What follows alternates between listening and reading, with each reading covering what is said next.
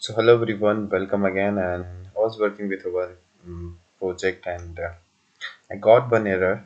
It might be also facing this error while deploying the Java application. So over the Tomcat, so let's see how can we change the port number of the Tomcat. Like um, if you are trying to deploy your application over the Tomcat server, and I have already discussed some uh, errors with Tomcat you might face so here over the code one we'll share the link in description uh, will you can how can you solve the localhost file to start so you can follow this. And this have just I write that the issue with the several ports required by the Tomcat server the localhost already use and might be the error says port 8080 required by Tomcat this one. Uh, whatever the version you are using at localhost is already in use. So if you can see let's say okay and if I'm gonna run this if I'm gonna run this code let's uh, that's even not it's, there is an option to run because it's stuck in between and it's showing this error to me. So it says several ports 80 at 3 at 8006 required by the tomcat okay uh, so let's understand the root cause of this uh, error. So to understand the root cause you need you can also read this complete article or let me explain you in brief.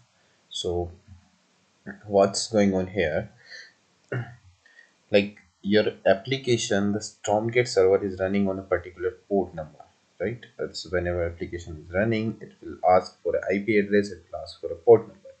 So this port number 8083 or 8006 is using by some any other process in your system. So if you see your terminal like, like just right click go to task manager and if you see the process performance the services. Under the services you can see the lots of services are running back, back in the background. So we can delete this service uh, so what we can do uh, the same port number is using by any other services. That's why it's showing me this error. So we have two solutions for this. The first solution we can search that particular service and we can stop that service and then it will run fine.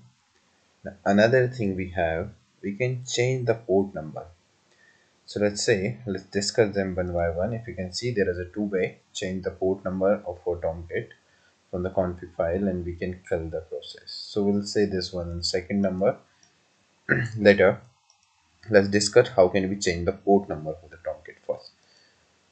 So as you can see, under my server section, it has a Tomcat 8.5. If you didn't get see here, just go to window, show view, click to others, and search here for the server. Okay it's gone. Let me go again. And if you didn't find this here just if you're going to see it's like this and you click on the server. Search here for the server and you will get this. Click it open and then it will display here.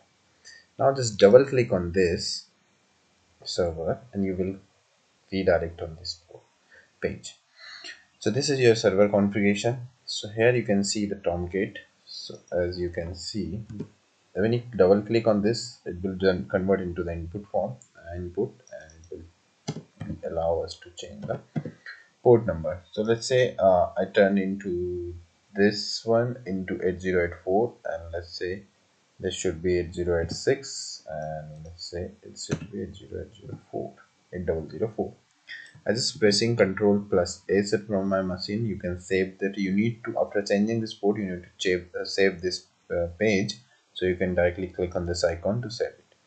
Now again right click on it.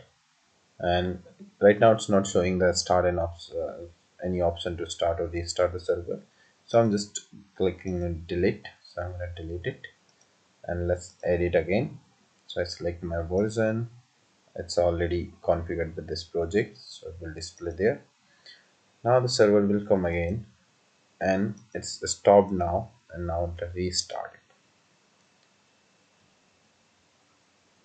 so when we restart it says again 8083 is in use. So again double click on it and let's change it.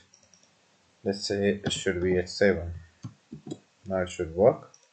And let's change other port as well it should be 9 or let's say 0 1 or at 0 3 4 6 8 okay save it. Right click on it and start it again. So you can see this time server is started and it's working fine.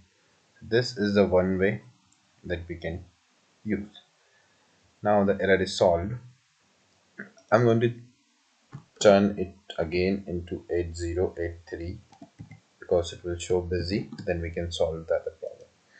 Okay let's restart it. Now when I trying to restart it it will show me that error like 803 is required. So it's just stopping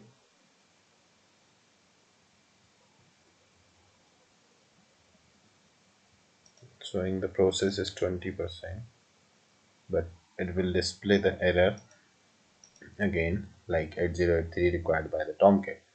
Now let's move to the second way. If you didn't get solution with this way just go and kill that process.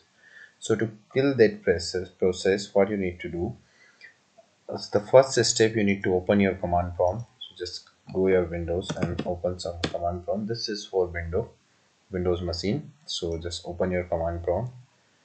In this command prompt enter this command here. So let's say I'm going to just copy it and paste it here. So let us start the hyphen no and findstr and here you need to enter the port number that you want to kill. Why we are pressing this command where we are passing this command here if you notice in the task manager it will it's showing only PID it means process ID so we need to know on which process ID our application is running. So this is the command to get the process ID that running on that particular port number. So I here I want to know on which process ID is running on 8083 so this is the same port that is busy. So let's say let's hit the enter button. Now you can see the process id double one four three six is running on 8083 now I can search that process ID from here. And I can let's say let's search if I found it. It's double one four